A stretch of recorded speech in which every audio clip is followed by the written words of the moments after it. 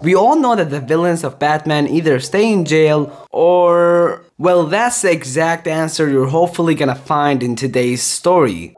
It all started with a genius of his own kind, a guy who knew Gotham in a way most people did not and adored the beauty of it. He loved Gotham and most importantly, understood Gotham. Let me introduce you to Sherman Fine, also known as the broker. When Sherman was once flipping through Gotham's history of business, he came to a conclusion that made him the man who he is today. He caught on to the fact that